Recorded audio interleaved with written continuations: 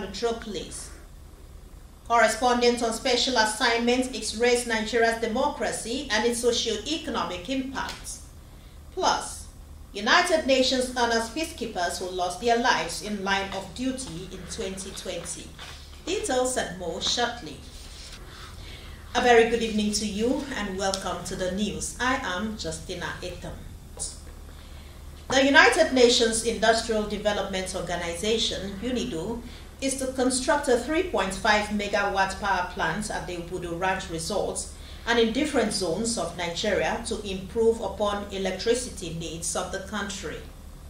The UNIDO General Director, Jean Bakole, stated this at a capacity building workshop on small hydropower developments for renewable energy projects developers, and financial institutions in Nigeria. Paul Ebel reports. Nigeria is blessed with several natural resources and with the availability of water bodies, as well as its location makes it a hub for hydroelectricity generation. This is the reason for the assemblage of these policymakers, renewable energy developers, and other professionals who are brainstorming to build capacity for the implementation of small hydropower projects that will streamline industrial activities towards Nigeria's economic growth. As a result of great concerns over the capacity of the national grid system to cover the entire country, small hydropower has been identified as a viable alternative even in areas covered by the national grid. Why should we always lose over 210 billion cubic meters of water annually, fresh water? And sometimes we begin to cry about the drought. We hope that in the coming four years, we'll be able to complete a minimum of three mini hydro plants in the country. For the host governor who declared the event open, it is high time Africa arose from a slumber and be self-dependent.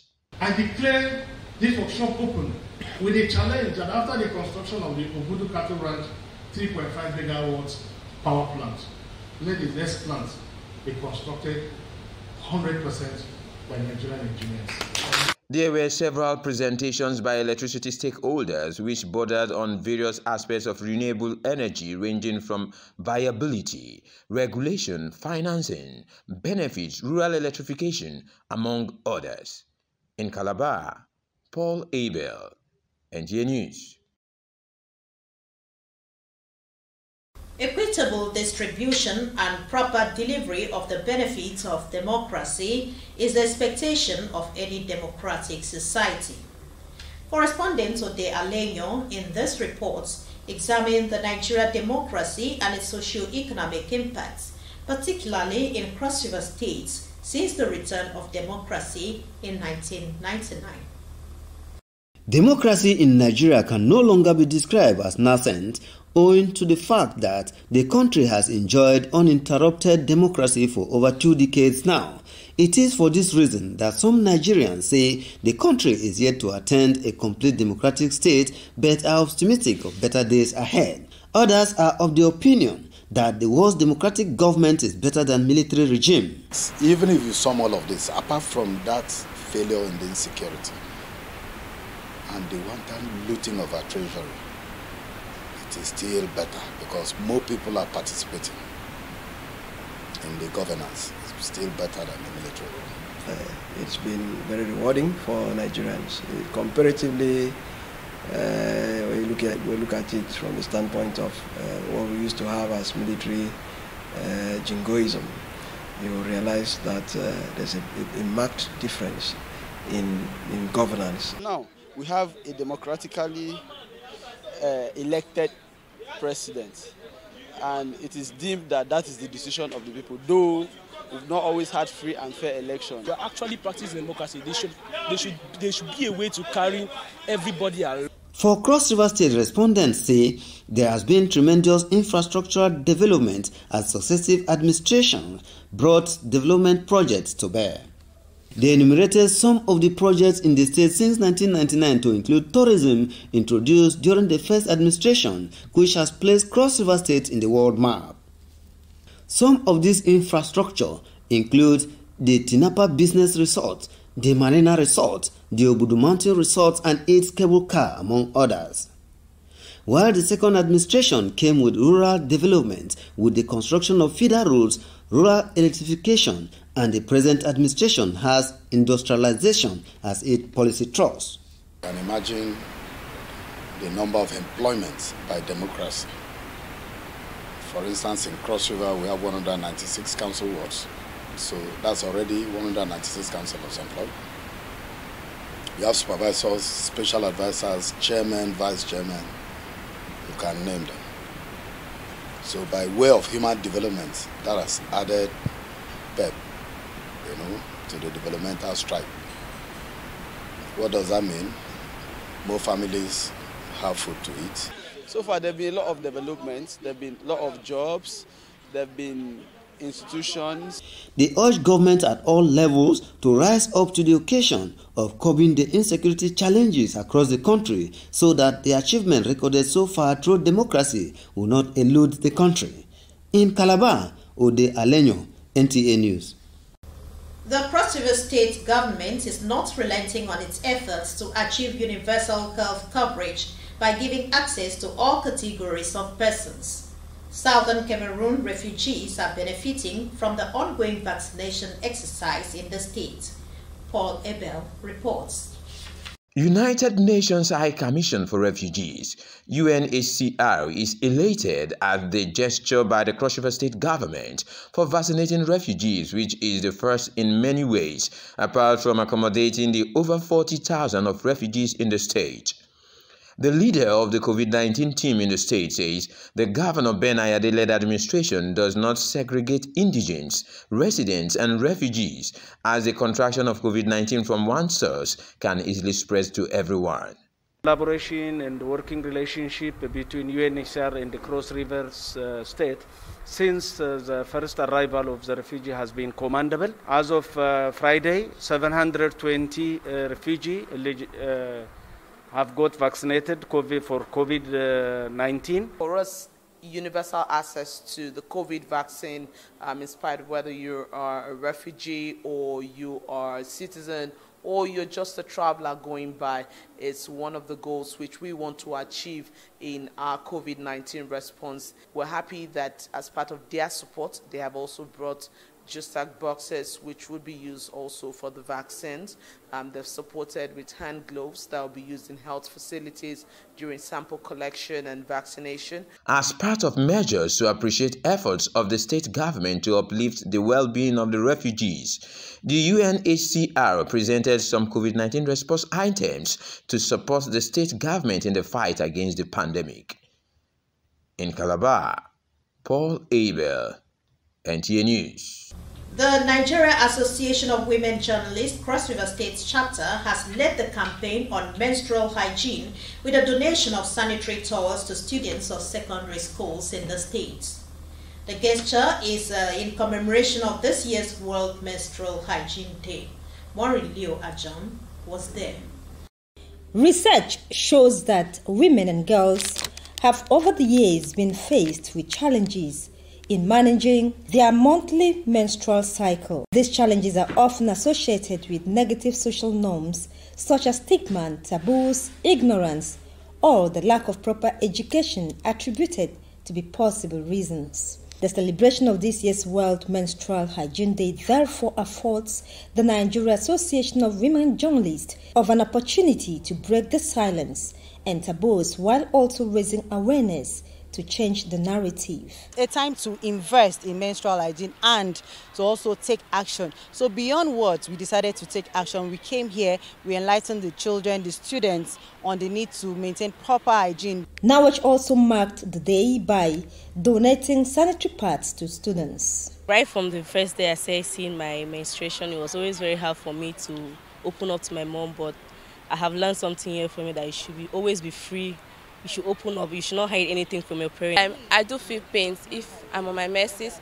I feel like who should I run to to enlighten? Menstrual period is a natural phenomenon, and so all they need to do is to maintain personal hygiene. Mothers, we should be able to make our children our friends and let them know that at certain age or certain ages they should expect some of these things. But there are some who have never known anything And like you're saying, some used to be shy and run away or hide it from their parents. They will now know that there's nothing about it. The theme for this year's celebration is action and investment in menstrual hygiene health. In Calabar, Maureen Leo Ajom, NTA News. The impact and dimension of potholes and failed portions of roads in some parts of Calabar metropolis has become a major source of threat to the environment, commuters and motorists as the rain intensifies. Motorists who bear their minds on the situation maintain that good road network in the city is important for increased socio-economic activities and improved productivity. Potholes at various locations in the city, especially Parliamentary Road extension leading to Jonathan Bypass, residents said it negatively affects the statistics of the city and serve as a threat to commuters and motorists. Just have to plead with the government to just please um, fix the road because actually it's affecting our movement. We follow here every day to work and it has not been easy. This road has been here for about a year or thereabout in this condition. It is only the young people, the young boys or the, the street boys in particular have always been coming here to see how they can be able to put the road in a little good condition that can enable the people to make use or the motorists to make use of the. Others who applauded the recent intervention work by the state government in some major routes, however expressed concern over the deplorable condition of some routes in the city of Calabar. But ever since uh, this bypass was commissioned, uh, we've not seen much improvement. We pray that God will help us and this present government to give this bypass a facelift. More so, other roads, not just this. Let uh, Calabar regain its glory. Affects everything.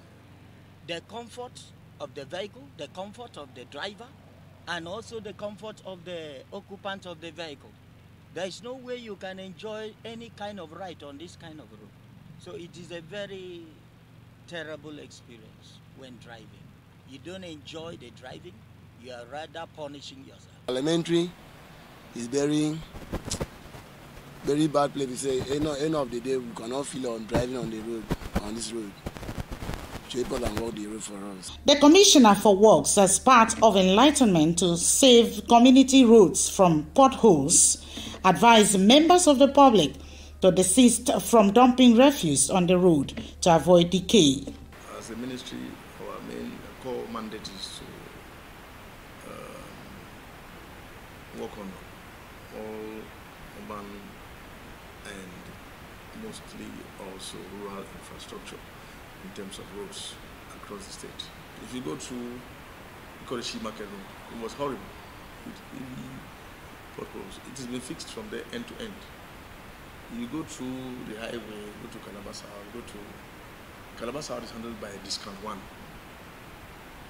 And the uh, roads are being put properly maintained to Bayside, to AUM, to Main Avenue, Yellow Duke, all that. And that has been since March, February, March.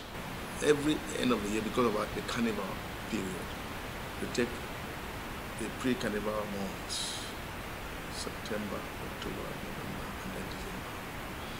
Take that period to do road maintenance and rehabilitation to ensure that uh, tourists or guests who come in because Christmas is a tourism destination. Our guests who come in find smooth access. Residents are appealing to government to intensify efforts in rehabilitating and remedial work to salvage these routes from ruin. In Calabar, Erika Ivy, NTA News. We'll be back shortly with more stories after this timeout. Please stay with us. Everyday events occur, and as they occur, we bring them to you anywhere you are. News updates showing on your channel of choice, NTA Channel 9 Calabar, affords you opportunity to get it fresh, hot, and loaded. Three minutes newscast of headline story every Monday, Wednesday, and Friday. You can't afford to miss it. It is the news update on NTA Calabar, the station for the people. Welcome back to the rest of the news. Inefficiency and persistent harvest of losses were in recent past the fate that besets majority of crop farmers, especially in the rural areas. Multi-agency policies and programs of the federal government have gradually changed the styles of wool, leading to efficiency and profitability, especially with reference to rice farming. Yahanusu Hassan Baru files in this Kano State experience of rice revolution. The federal government diversification mantra, which seeks to ensure job creation among teeming populace and food sufficiency, has in the last six years recorded successes in the country. For instance, Kano, which is blessed with vast fertile land, stands out among its counterparts in meeting the target of the federal government. Mohammed Sani who is full of praises to the present administration, is a rice farmer who says their paddy has witnessed tremendous value increase compared to how it was years back. Before the closure of Nigeria border, we sell our paddy at 5,000 naira, but now we sell it at 10,000 naira and above. Has led to the proliferation of rice milling factories ranging from small, medium and large-scale factories in the states. In 2020 dry season farming, the Association of Rice Farmers in the state was able to recover more than 600 metric tons of paddy, which were sold to millers at a subsidized rate. Recall that Nigeria was spending over a billion naira daily to support rice bills importation. But today we are not spending even one naira. This is a very great achievement to the country.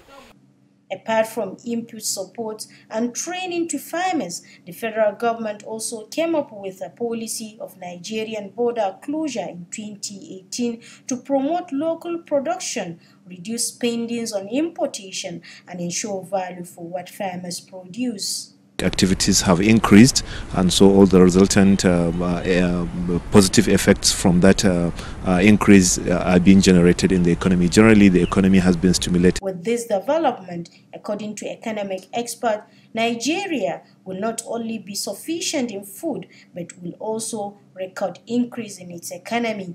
In Kano, Yohannes Hassan Baro, NTA News. The Cross River State, and now moving on to security, the Cross River State Police Command is informing the general public that police personnel on training at Mopol 11 Calabar will commence range practice at police shooting range Ayanganse in Akpabuyo local government area on Tuesday, 1st of June 2021 at 8 o'clock in the morning. The statement signed by the police public relations officer Irene Ugbo warns members of the public, residents and farmers in the said environment not to engage in any activities within the vicinity to avoid being caught by stray bullets until the exercise is over.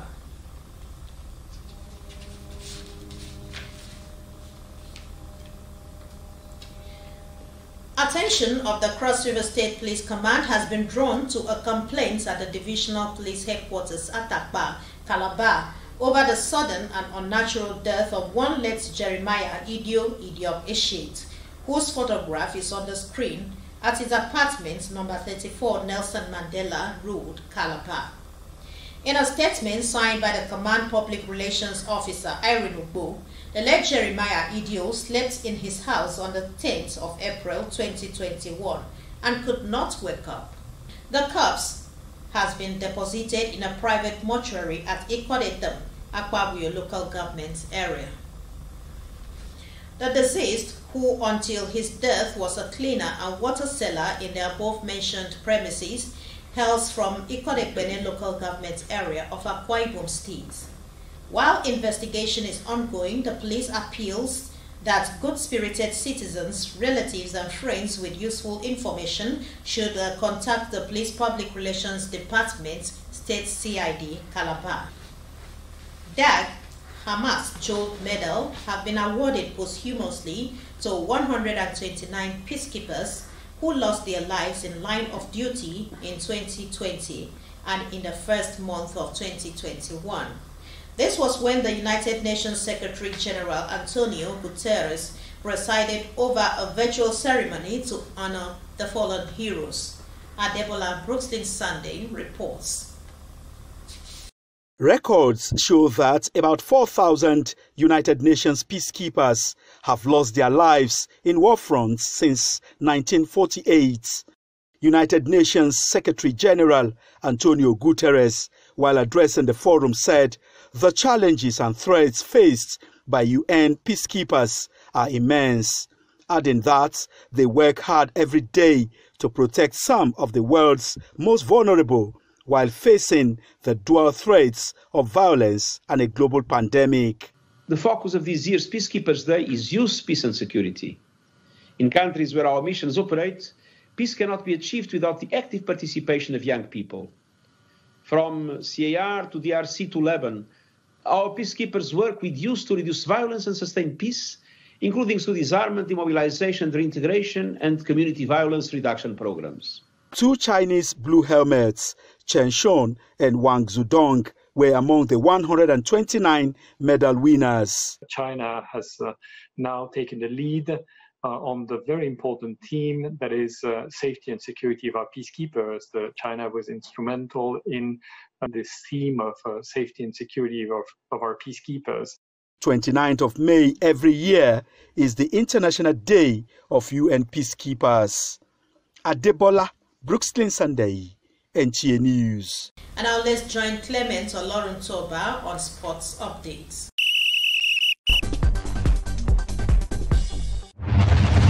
Nigeria has continued to win medals at the ongoing Africa Senior Weightlifting Championship, which started on Thursday in Nairobi, Kenya.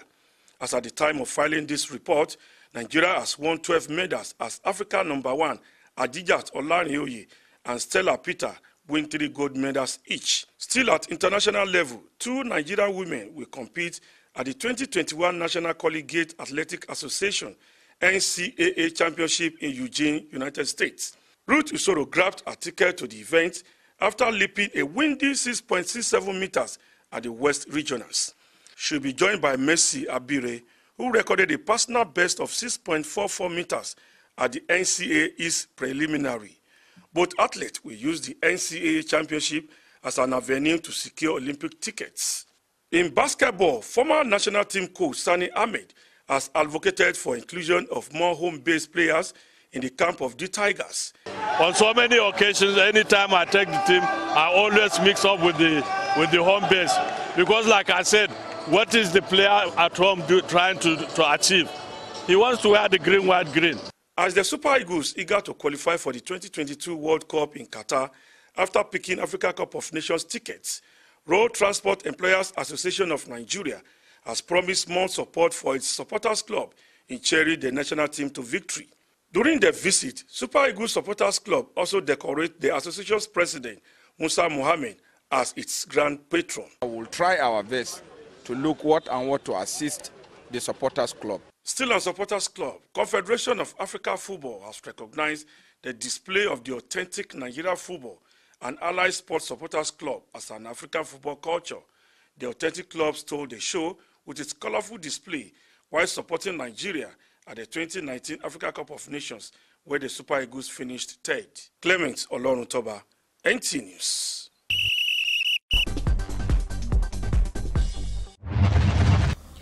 And finally, a recap of the top stories.